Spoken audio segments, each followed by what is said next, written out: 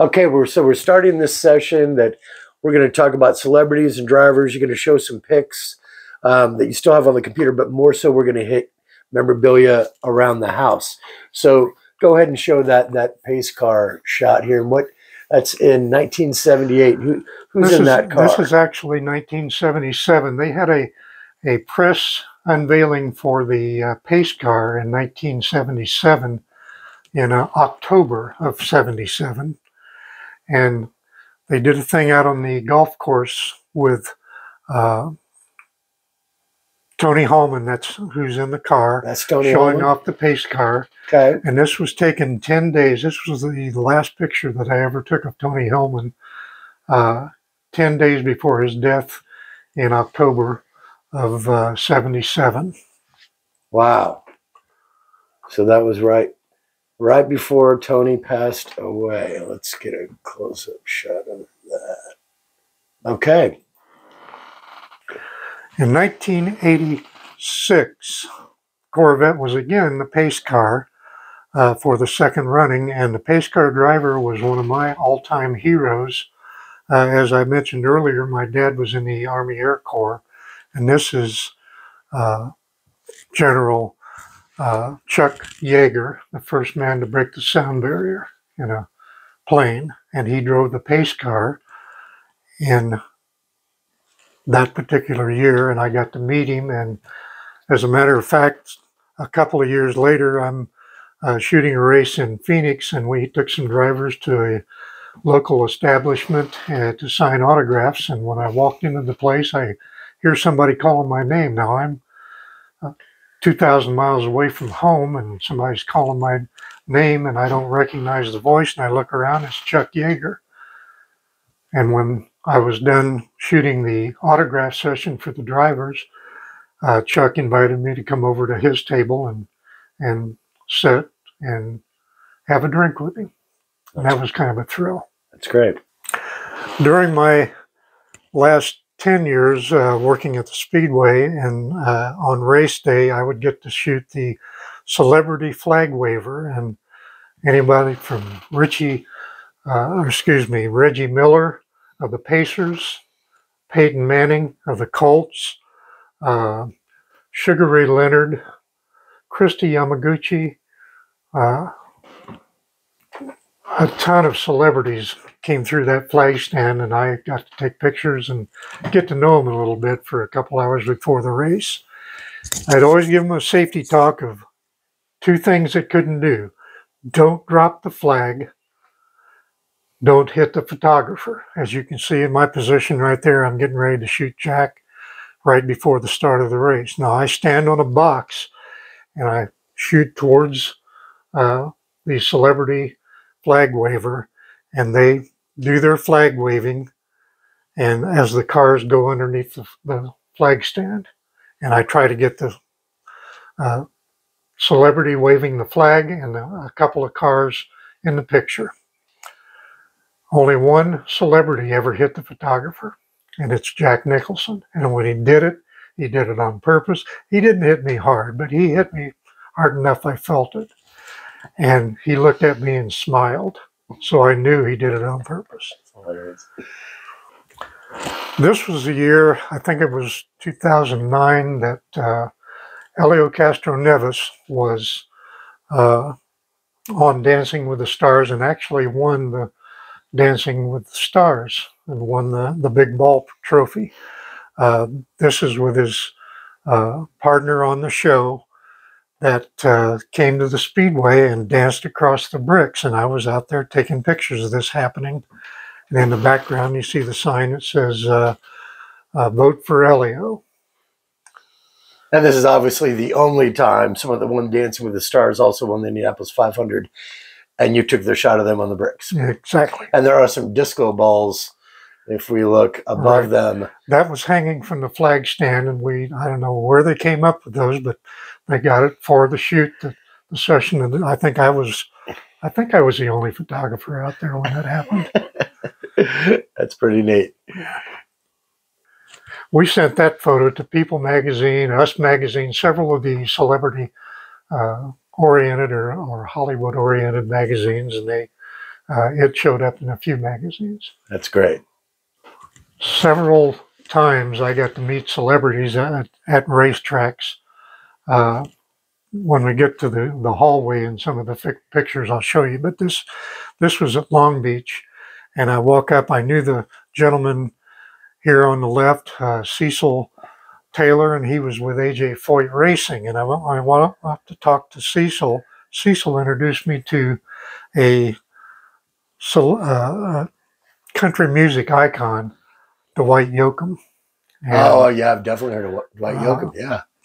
So I was explaining some of the in- intricacies as well as Cecil was doing the same thing of uh, being in the pits and some safety issues uh, to Dwight. And when you th- when did you say this was? in the 80s. In the 80s. eighties. All right. That's when he had hair. In late 2000s, I think like 2009, 2010, one of our races was held in Brazil. And going to Sao Paulo, Brazil, there was one thing I had to go see when I was had a, a part of a day off, and that was uh, where Ayrton Senna was buried in uh, a graveyard in Brazil in South America. He so was a- explain to people what that background, his background. Okay. Ayrton was a three time world champion in Formula One. I got to know Ayrton in uh, the many races that I shot in, in Formula One. And uh, kind of a funny story uh, I happened to be in a restroom when Ayrton walked in, and I'm standing there and doing my business, and I had probably three cameras around my neck. And as I turned to walk away, I recognized what he, who he was, and he was in the stall next to me. And I turned around and I walked out. And while after I walked out, he walked out. He looked at me and he says, stuck his hand out, hand out, and introduced himself. And he says, "I want to thank you for not taking a picture of me in there doing my business." I said, "I don't work like that, so no problem." So we got to talking and I mentioned that I was uh, at the Detroit Grand Prix and was chief photographer there, and and uh, Yeah, name the, the name of the different tracks. uh, I was chief photographer at, at the one Dallas. Uh, I did Montreal, but I didn't do anything officially there. Okay. Uh, I did Detroit Grand Prix for several years, both in Formula One and IndyCar. Uh, I did Phoenix a couple of years, the Phoenix Grand Prix. Um, I've I've seen quite a few Grand Prix races, and I got to know a few of the drivers. That's where I met, Emerson Fittipaldi. Okay. Okay. All right. Let's go on to the next. Okay, uh, on the flag stand, I've got to meet several. Uh, well, in racing, I've got to meet several celebrities, and one of them is a uh, a war hero from the Vietnam War, uh, Colonel Bruce Crandall, and he was a Medal of Honor wi- winner during the Vietnam War. Uh, there was actually a movie uh, filmed about him, and I, I can't recall the movie, but uh, it may be up there on his no, it's not. But but anyway, he was a Medal of Honor winner and somebody that I really respected, being a, an Army veteran myself. Okay. And when where did you serve again? Uh, I served in the uh, Okinawa In Okinawa. during the Vietnam War. Uh, I was a motorcycle policeman, uh, an armed forces policeman uh, for a year and a half on the island of Okinawa. Okay. at St. Louis, uh, the racetrack in Gateway, or at Gateway, I got to meet Red Schoendienst, another one of my heroes from baseball, uh, a Hall of Famer from the St. Louis Cardinals. And is that uh, Jay Leno? And Jay Leno and Jeff Gordon uh, during a Brickyard photo shoot for the pace car. And Jay Leno was a pace car driver that year. Uh, and it was uh, sent to me by the Chevrolet people who I, I did a lot of work for. As director of photography at the racetrack and after. And how do you think Jeff Gordon is in that shot? It looks like he's still pretty young. Um, no, Jeff was uh, at least towards the end of my career. Uh, he was uh, there. He was a Chevrolet driver, and they brought him in to, to help with Jay Leno. Okay. He he showed Jay the way around the track in that car. I'm sure Jay wanted to show him too, right? Right. I bet. This was at Michigan International Speedway. The Grand Marshal that year was another one of my heroes of all time, Buzz Aldrin. Buzz was the second man on the moon, and uh, he was the Grand Marshal for one of the uh, Michigan Grand Prix. And I was standing there talking to him, and somebody says, "Hey, Ron," and I looked up, and they took the picture, and later on sent it to me. That's pretty good. Man that was in outer space and went a lot faster in these race cars. Mhm. This was 2002. Andy Granatelli uh, is presenting me on uh, driver's uh, day that uh, they they give the instructions to the drivers in front of several fans. I was presented with the Unsung Hero Award, a beautiful ring that Andy presented every year to somebody behind the scenes. And what was his role? Uh, he was a car owner. He's actually in Mario Andretti's winning car. Uh, he owned that car in 69 and owned several cars throughout the years. Owned the Turbine, Okay. and he was actually a driver back in uh, the 40s. I was in Long Beach and I was going uh, to the Marlboro trailer to eat lunch. And Emerson Fittipaldi called me over and he says, Ron, this gentleman would like to talk to you about getting a uh, uh, pass for the Speedway to shoot pictures. And I said, Well, uh, okay. And I introduced myself and he looked at me and says, I'm George Harrison of the Beatles. Also, the, So what went through your head when you realized you were talking to a beetle? well, having been around celebrities for most of my life, my next door neighbor was a Indian, Indianapolis celebrity, so I was used to seeing major celebrities over at his house, and uh, I wasn't starstruck. Let's put it that way. I treated them like I wanted to be treated, and didn't treat them like celebrities. Right. So Let's get a close up I- shot of George Harrison and yourself and Emerson Fittipaldi. Now, when I was talking to George, I said, Now, what we'll do if you don't want to be inundated with people, because that's the biggest uh, sporting event uh, in the world with more photographers, more fans than any one day sporting event. So, if you don't want to be recognized, I'll make you a name tag and put- you on my staff, make you a name tag, and it'll be a fictitious name. And be your choice of names. You can tell people who you are or admit who you are, or if people don't recognize you, you don't have to bring it up if you don't want to. He said, That's great. So uh, he said he'd contact me later. I gave him my business card. He'd contact me later.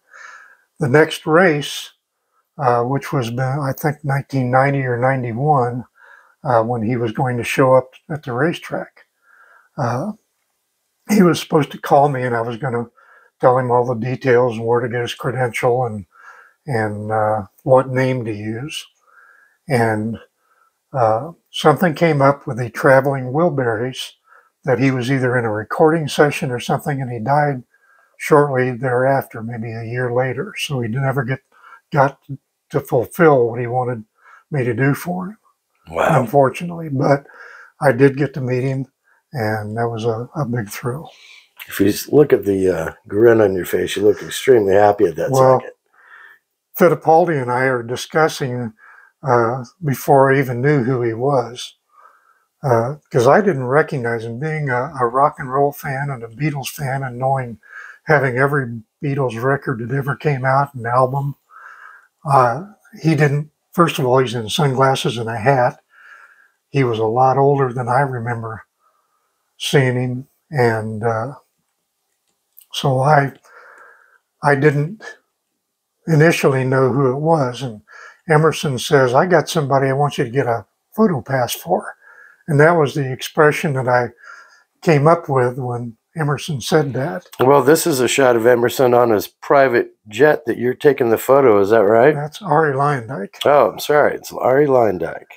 And after the after he won his second Indy 500 in 1997, uh, we took him to uh, New York, Texas, Milwaukee, and uh, had different interviews on on TV shows and and uh, radio shows and things like that uh, before the, the upcoming races at Texas and Milwaukee right after the 500.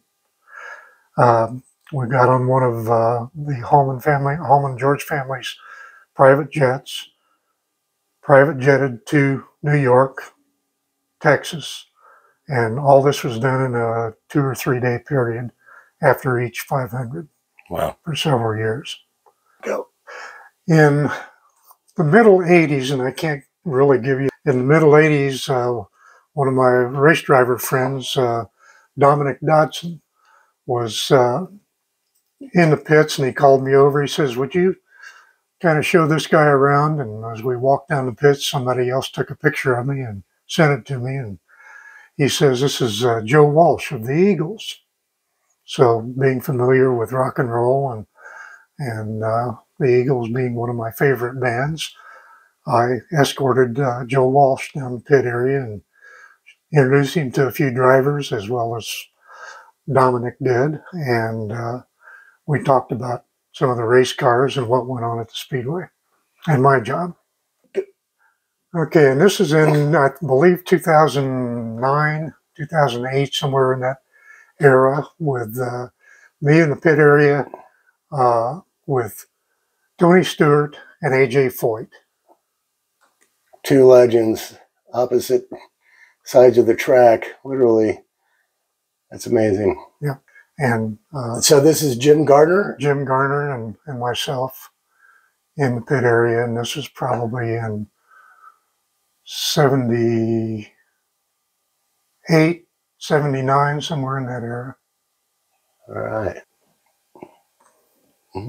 This is a gentleman from Australia that in Indiana he started a, uh, a Australian animal farm, and uh, he happened to be a fan of pictures, so he came in the trackside office one time and went through pictures, and I introduced myself and got to know him a little bit. And next time I saw him, he brings in a kangaroo.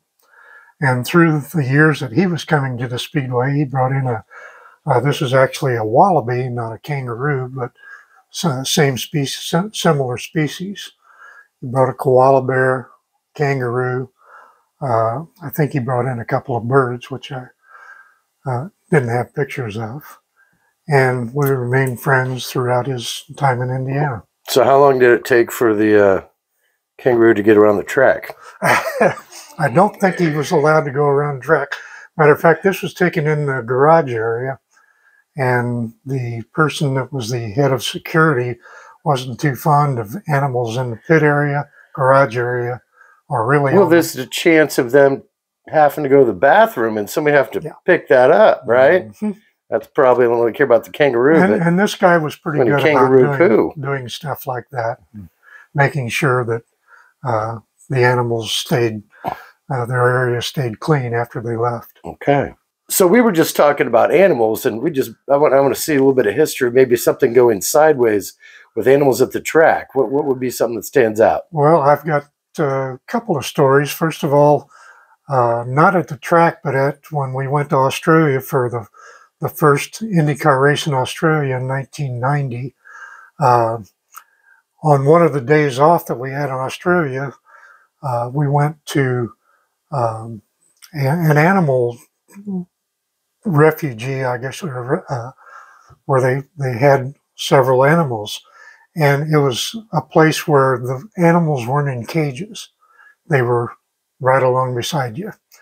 And I got to walk amongst kangaroos, wallabies, uh, emus, Now, emus, if you don't know, they're a bird about like an ostrich and about this tall and fast. And you're walking along an area that's just a, a, grassy area, and all of a sudden here comes a kangaroo or a kangaroo on one side and an emu on the other side. And if you don't know the ostriches and emus, they can be mean. So we're told not to not to mess with them, but you can let them walk alongside you if you dare. You see, you never rode So- one. No, never rode one. All right. Uh, at that time, I, uh, I'm about three years after a uh, new operation to fuse my ankle uh, after my motorcycle accident in uh, 78. 13 years later, I'm in Australia and I'm, you know, after doing all this, I, one other thing I want to do was bungee jump. So in Australia, you go up on a big crane to bungee jump and go off of the platform, off of this crane, and down to a river. And you hope you don't stretch far enough to go into the river. And they've supposedly got it done so well, and they tie you up around your ankles, and you jump off and and go down into this ravine and river. And my doctor, Terry Trammell, found out I was going to do this as soon after he had just fused my ankle. He says, no, because what's going to happen is when you get yank down you there, apart. that ankle will pull apart Yeah. and you'll hit whatever's on the ground. So I was uh, refused from going bungee jumping in Australia. I think that's probably a good call. One of the mechanics that was with me decided he was going to do it. He went up and he bungee jumped naked, buck naked. And somewhere in the IMS archives or uh, some archives that it ended up in racing is this mechanic jumping off of bungee jumping naked. Wow. I did not get a picture of that, nor Well, would I want it. probably better from the back. Yeah. This was at uh, Atlanta, and and ran a night race at right? Atlanta, and uh, we uh, again I was shooting the celebrity flag waver at an IndyCar race, and uh, it was Evander Holyfield, world champ world boxer. champ. Him I shot uh, of the boxing world. I got to shoot Evander. I got to shoot uh, Muhammad Ali at the Speedway, and uh, George Foreman. Wow. Sugar Ray Leonard was a flag waver on our uh, IndyCar stage. And then here we got a shot that you alluded to earlier, but with Al Unser Jr. Al Unser Jr. grabbed my camera. We're out in the pits and we're talking, and he decides he wants to look into grandstands and find one of the pretty girls. So he got my camera, and I think at that time I had a 600 millimeter lens on it. And So what's the magnification from normal? Like what is that equal uh, to? you're up close and personal from there to the grandstand. You're- yeah. You're getting close. Okay. We got Dan Wheldon. God rest his soul. But go ahead and talk about this shot. This was a shot done for uh, a sponsor at the time was Ritmo Watch, and as you can see, the three drivers, Dan Wheldon, Milka Milcaduno, Helio Castroneves, are holding the watch up uh, and showing off the watch. Wow. So Indianapolis Racers was the hockey team. Who is who is this gentleman? This gentleman was a big radio announcer uh, on a News Talk Sports radio that showed up. Uh, also, a big TV star later on in life, and that's David Letterman. That was That's David Letterman. That's one of the first pictures that anybody ever got of him with his beard. Wow. That is, you know, he was my uh, father's paper boy, and they had cotillion class together. And he was a Sigma Chi at Ball State, and we were uh, right across the street. But go on. Nashville Speedway, the oval ra- racetrack. Uh, again, we got to go there early enough that, uh, well, you're looking at Paul Newman, right? Yeah. now. But uh, So the this, other one over there is, is me on stage at the Grand Ole Opry not really playing a guitar. But uh, And then here we got a shot of Paul Newman. Yep. Newman Haas Racing. Paul was fine as long as you didn't talk to him about movies when he was at a racetrack. He was Right. a great race driver. Uh, I shot several shots of him uh, in race cars in the Trans Am series back in the early days, uh, in the 70s when I was getting started. And uh, How about this with the uh, cowboy hats? What's going on here? there again, back in the early days, we used to uh, have a fun, fun day. We had Hawaiian shirt days, we had crazy hat days, uh, and me and another guy that was working on my staff that sometimes came up and shot uh, shots at the uh, qualifiers. That's pretty neat. That's Go ahead. Yeah. that's a shot from uh, Chicagoland Speedway. Those three cars are crossing for the win of the race, and it looks like Tony Kanaan won that race. I had one shot to get that. I couldn't see the cars coming because the two flags were being waved, so I had to listen until the cars got were at a point where I could. My brain would tell me to shoot it, and they'd be on the start finish line. All right. Let's talk about the bricks getting redone here. The bricks were redone in 2010, I believe. And uh, when I was out there taking pictures of them redoing the bricks, he says, Do you want to place a brick? I said, Well, sure. So the guy doing the bricklaying took my camera and I placed a brick. And so I, I don't know if those bricks are still there, but I'm assuming they are. Right. Uh, I placed one of the bricks on the start finish line. You were able to branch out from racing and just kind of speaking to what you were just saying. Yeah, I uh, because of my job in racing and, and meeting a lot of people, the PR director for the Pacers hired me to shoot Pacer games at home, and they introduced me to the Racers organization, which just came to town, and I was shooting hockey, basketball, along with racing, and in doing so, one of the celebrity games that they had before the thing, this guy comes out, and I knew Dave from from uh, TV, and, and he was a weatherman on Channel 13. Uh, and I had met him once or twice, and he comes out, and I didn't recognize who that was. And I asked somebody, I said, Who's that out there on the ice in this celebrity game? So that's David Letterman. I said, No, that's not David Letterman. So I shot that picture of Dave. And later on, when he had his uh, TV show, national show, I sent a copy of that and uh, they were going to put it on the air. I never got to see the show uh, that they put on the air, so I don't know whether they did it or not. But uh, that was a That's pretty amazing. deal. I also shot uh, World Team Tennis uh, along with hockey and, and basketball, baseball, the Indianapolis Indians. Uh, I've also shot several different uh, race drivers throwing the first ball out after winning the Indy 500 at uh, Shea Stadium, Yankee Stadium, uh, Cincinnati, St. Louis, and probably ones I've forgotten over the years. Wow. When the Indy Racing League was first forming in, in uh, 1994, our first race was 1996. And in 1997, uh, at Orlando at Walt Disney World, I heard that there was going to be a shuttle launch on one of the nights. It was actually about two o'clock in the morning. They were going to launch one of the shuttles.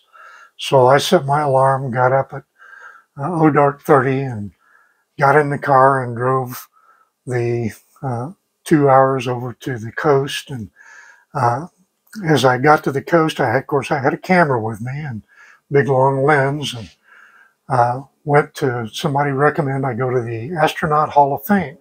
So I go in the Astronaut Hall of Fame and I give one of the uh, docents my business card, and I said, "Where can I get a good shot of the shuttle going up? I've got this long lens, and I'd like to take a shuttle picture. How close can I get?" He says, "Well, you're about eight miles away, but you can shoot it from our roof." So I went up to the roof of the Astronaut Hall of Fame and shot that picture with a 500 millimeter lens uh, of the shuttle going up. That's amazing. How did that sound? Uh, you know, there was no sound when the first uh, flames came on and, uh, and started to take off. And about oh, 30 seconds later, the sound hit you. So you were that far away, it took 30 seconds to hit 30 you. seconds or so to hit me. I don't remember exactly how long. It was it was not instantaneous. Wow. And then the sound. And then he felt the shock wave. Right. It wasn't a strong shock wave, but at eight miles away and up on a roof that uh, there were, I think, five or six of us up on the roof. Wow. That's amazing. All right. So this is one of the original cameras used at the Speedway, or what, what was the backstory of Well, this? I used this camera uh, when I first took over in 72. And in 73, I made a deal with Cinar, who was a Nikon subsidiary, to this this camera was 1950s vintage and it was used by Bud Jones, the photographer, chief photographer in the 50s. And uh, I'm not sure that it wasn't his camera, but it was left at the Speedway. When we got done using it and we went to a, a higher grade camera, uh, we, the Speedway was going to junk it. And I said, I'd like to have that for my camera collection. so what year do you think, how old do you think this is? It was probably Like early 50s. Yeah, 52, 50? something like that. That's amazing. Go. Tony Bettenhausen, is that who is on this golf club? Yes. Uh, Tony and I have been friends for as long as he's been in the uh, uh, at the Speedway, and uh, he had the, the Ping was one of his sponsors on his race car for several years, and I think each year or every other year they would send him a new set of clubs, and he listed these for sale at the Speedway one day. Uh, was trying to sell the clubs, uh, an old set of clubs, and uh, So it's got everything except the woods, right? right, and so Tony and I, uh, we were great friends, but he was anti-IRL, Indy Racing League, and pro-CART. and of course when the uh, split came in in '96. Uh, Tony and I would get together and we'd promise each other we're, we're going to talk about the 500 or Indy Racing League versus CART. We were going to be friends and and just discuss friendship and and other things like that. Five minutes later, it was he was anti IRL, I was pro IRL, so we'd get in a big argument. And we were sitting in a uh, restaurant one night, and I said, Tony, I'll tell you what. He he kept saying the IRL was never going to happen. The first race was never going to happen at Disney World. I said, Tony, I'll tell you what. I'll bet you double what you want for your golf clubs or a thousand dollars against IRL race, first race happening and being successful. And I get those clubs. He says, You're on, because that race is never going to happen. So we parted ways. And of course, the first IRL race came off and was successful, as well as Phoenix and I think Las Vegas, the third race. And so I, next time I saw Tony, now Tony was off racing CART and I was off racing uh, IRL at the time. And uh, so the next time I saw Tony it was about a year later. He called me and he says, Ron, can you shoot a, a little golf tournament I'm having and uh, at the Country Club of Indianapolis? I said, yeah, if, if I get the golf clubs that I won from you for that race coming off, oh, I'll, I'll give you your golf clubs. So he gave me the golf clubs at that event I was shooting for him. He just gave them to me loose, wrapped up all. Uh, And you already had this bag, 10 or right? 12 clubs. And I had this bag. This was a bag that I occasionally used. Uh, being on the road with IRL and working full time for the Speedway, I rarely got a chance to use them. But uh, the first thing I did when I got these clubs and I came home, took all the clubs out of my bag, put them, put his Tony Bettenhausen's clubs in my IRL bag, took a picture of it, and sent it to him. That's great. Okay, so let's start from over here. This is the uh, certificate of appreciation for Ron McQueeney, the Unser Racing Museum. So this is right when, Albuquerque. when uh, Al and uh, his wife started the museum, they leaned on me for photographs of Al's career and uh, some other memorabilia, and I loaned some stuff to them, and they uh, gave him pictures for the museum. And then And- you've got the, uh, I got that in the mail. Uh, this is the United there States I did a Auto lot of Club. pictures uh, while United States Auto Club was a part of the Speedway up until until 97, 98. Uh, I did a lot of photos for them if they needed something uh, photographically and their photographer wasn't available, I would go to them and uh, take the picture for them. It's American Auto Racing Riders and Broadcast Association. Yeah, that was an award that I won uh, in 2006, uh, Straight Shooters Award. And that was for uh, all the things I've done in photography.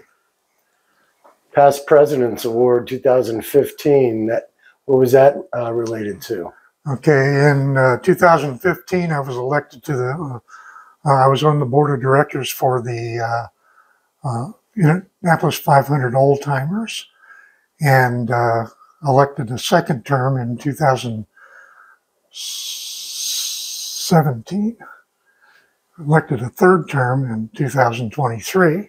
And now you're I'm back. the, yeah, I'm the only three-time, actually only two-time and three-time president of the association. Wow. Uh, back in '93, I was uh, given this before I was on the board. I was uh, that's the Clarence Cagle Award that the old timers give out. Okay. And then we have a couple pins up here. Okay, those things are uh, uh, lap prize donor awards, and I found those at a flea market at one of the Speedway flea market. And then what about this old one that's got a lot of That's signatures on it? Something I found at a uh, again at a antique mall and thought it was neat and bought it. Uh, at the John Andretti race for Riley, I did that every year from well, I did it for 25 years. And uh, at their uh, appreciation dinner, I was able to acquire this Andretti wine bottle full. We don't drink here.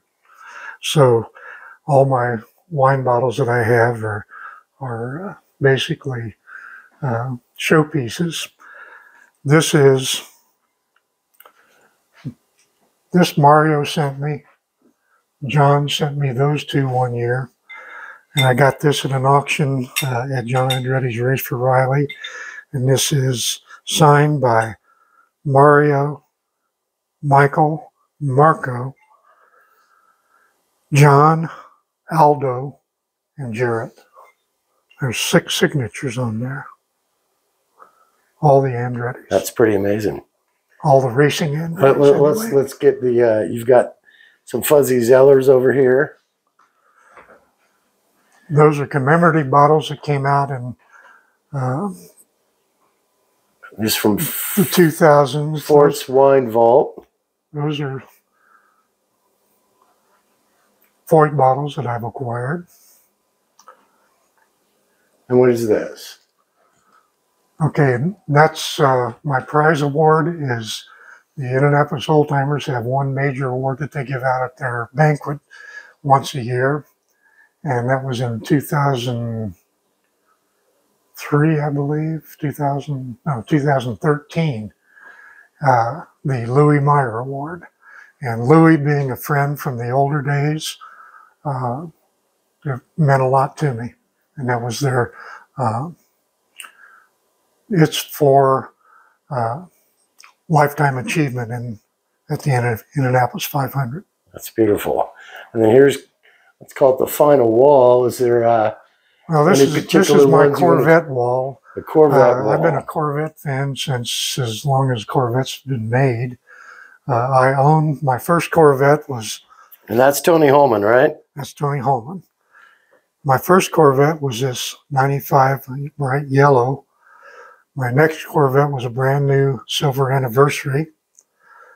This was a 72 that I bought when I had after I had my motorcycle accident. I ordered a new motorcycle. And Dr. Trammell says, no, you can't hold up a bike like that, at least this early. So I went back and I, when I got my new motorcycle and was told I couldn't uh, use it anymore, I went back and, and Junior Dreyer, who I bought all my motorcycles from, said, well, I got a car you'd like to have. How about this 72 Corvette that I just rebuilt? Uh, fine.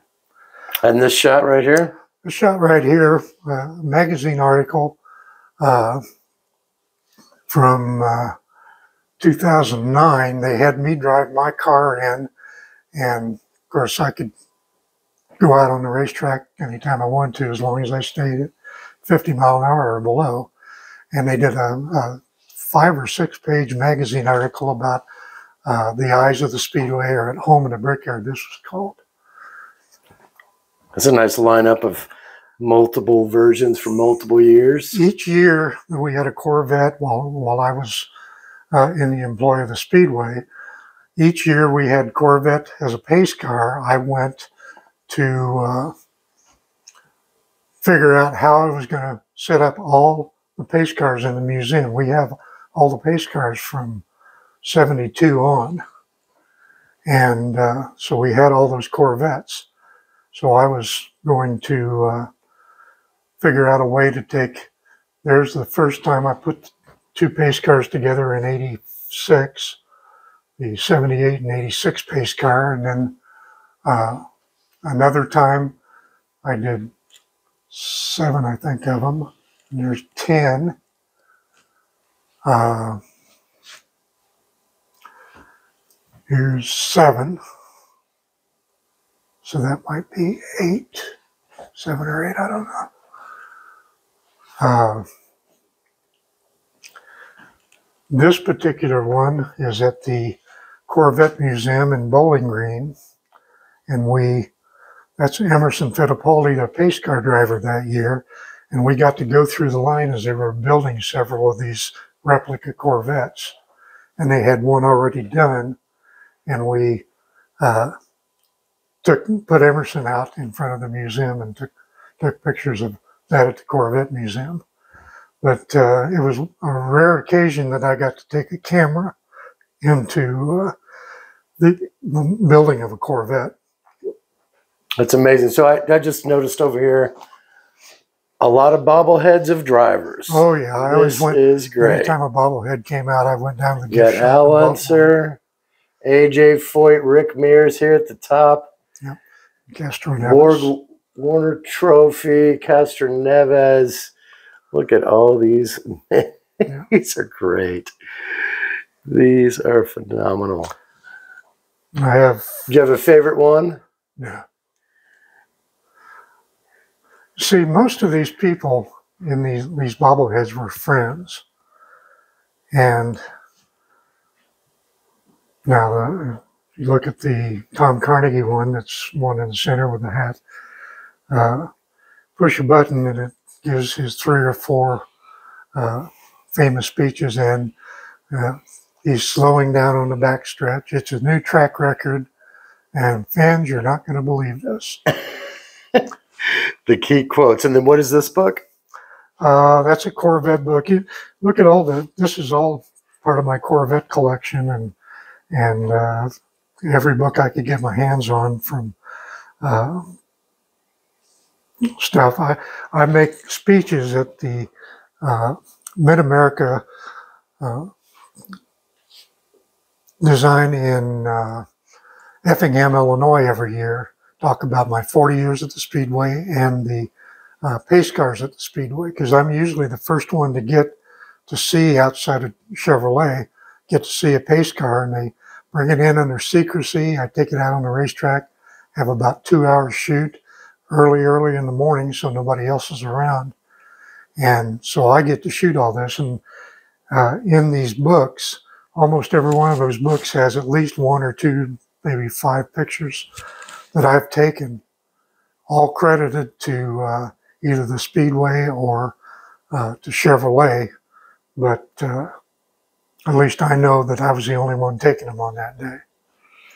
Well, Ron, this has been a pleasure seeing your road from Victory Lane to here of all these years. And you said it was 40 years, 40 races? 40 races, 40 years. Well, there was more than 40 races because we had Well, 40 90 Indy 500s. 40 Indy 500s. 40 Indy 500s. Uh, before that, I saw every race except for the two years I was in the service from 56 up through the 2000 race.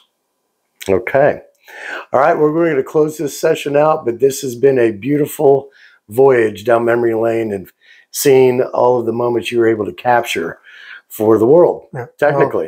Well, it's been a pleasure to be with you, and, and it was a labor of love. I, if I could afford it, I wouldn't have taken money to do this because it was just a, a great, great pleasure.